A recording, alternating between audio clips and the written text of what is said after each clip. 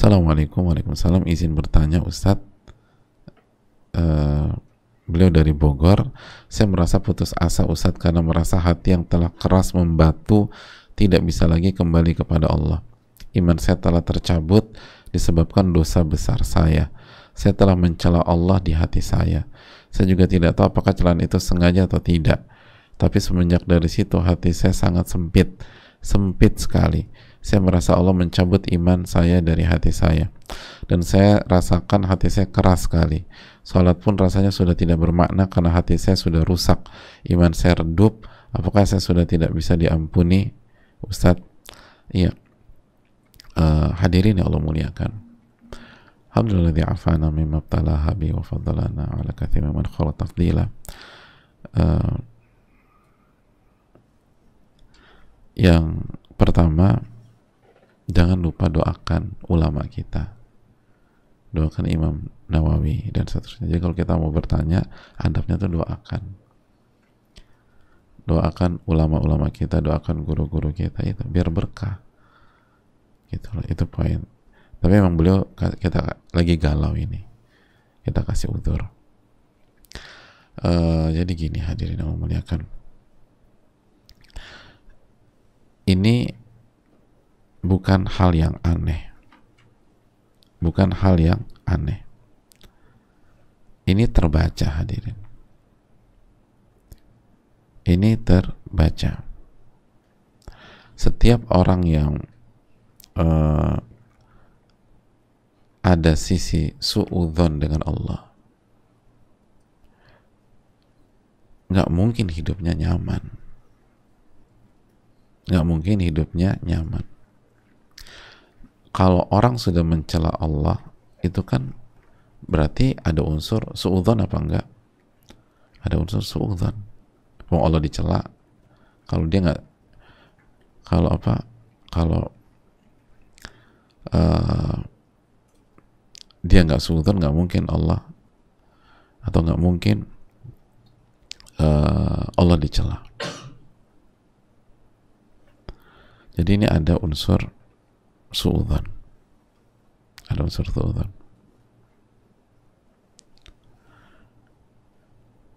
nah kalau ada unsur suudzon itu udah clear hadirin Allah sudah mengatakan dalam surat Al-Fatah ayat 6 wa yu'adzibal munafiqin wal munafiqat wal musyrikin wal musyrikat. Apa berikutnya? Adzannina billahi dhanna saw. Allah mengadab orang munafik laki-laki maupun wanita. Orang musyrik laki-laki atau wanita. Yang apa? Adzannina billahi dhanna saw. Mereka buruk sangka sama Allah. Allah katakan Allah azab mereka alaihim dairatus saw keburukan itu akan kembali kepada mereka dan akan akan dair akan muter-muter aja sama mereka. Wa ghadiballahu alaihim wa la'anahum. Allah murka sama mereka dan Allah laknat mereka dan Allah siapkan jahannam wa sa'at masira. Dan itu tempat berakhir yang paling buruk. Jadi bukan ini bukan apa namanya bukan hal yang aneh hadirin. Bukan hal yang aneh. Kok bisa sih? Bukan. Ya emang begitu. Begitu kita sultan kena begitu kita. Ini ini sesimpel ketika ketika kita ngelihat orang itu makan uh, sembilan cabai rawit yang tua-tua yang pedas kan yang tua-tua ya? Yang pedas tuh yang muda atau yang tua sih? Nah lo antum sebagai anak muda jangan baper. Ini cabe ini bukan orang. Kan yang tua ya cabe itu ya. delapan cabai rawit terus dia kepedesan wah ini parah banget nih gini. Azab nih di dunia. Lo ini bukan hal yang aneh mas. Ya anda makan cabai rawit delapan ya pedes wajar.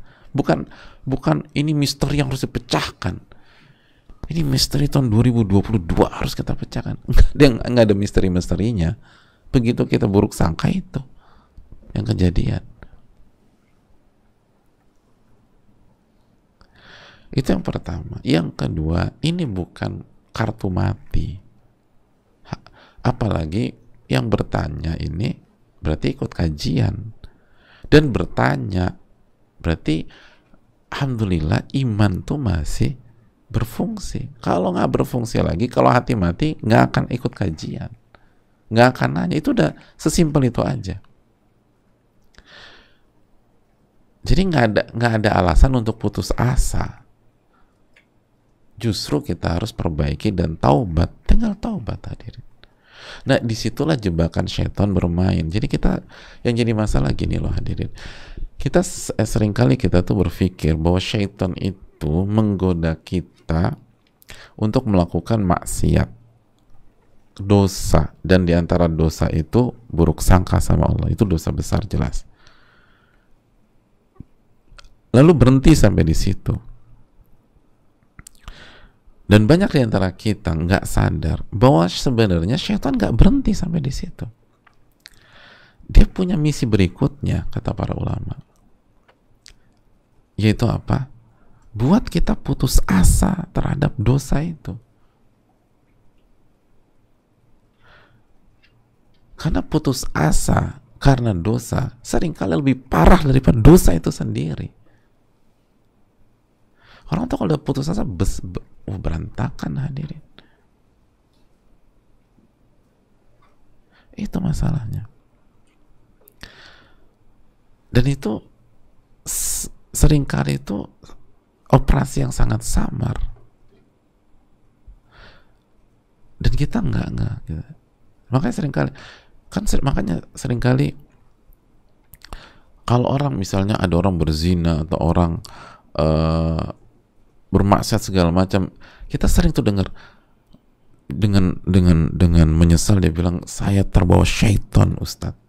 Saya terjebak oleh syaitan. Saya ngikutin syaitan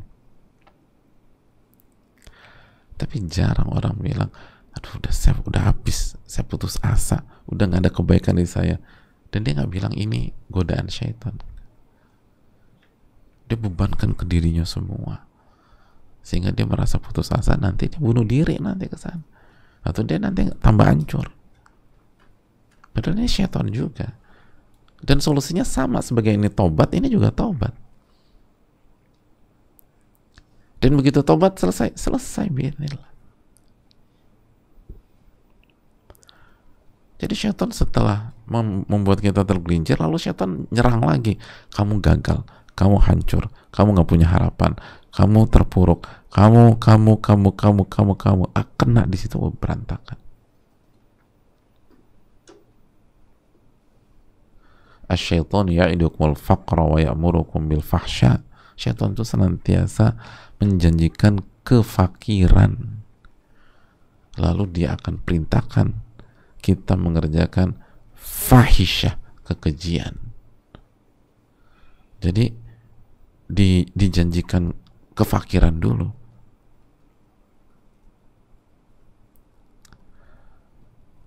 Itu hal yang perlu kita tanamkan. Allah taala alam bisa saya rasa cukup sampai di sini. Semoga Allah memberikan taufik. Jadi jangan putus asa. Betul kok yang di ketika mencari itu kesalahan fatal, tapi jangan putus asa. Tobat. La taqnatu min rahmatillah innallaha yaghfiru dzunuba jami'a. Jangan pernah putus asa dari rahmat Allah.